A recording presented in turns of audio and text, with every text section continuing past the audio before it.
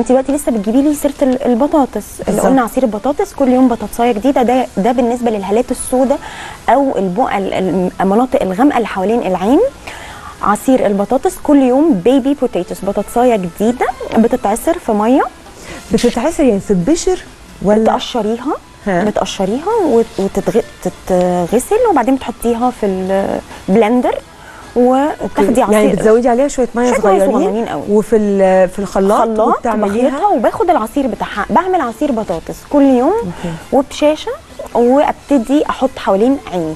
بس المشكلة في حاجة عارفة انت ممكن تقعدي أسبوع تقولي يا منى أنا بحط الصبح وبحط بالليل. منى أنا بقالي كل يوم بحط بقالي أسبوع ومش لاقية نتيجة. مم.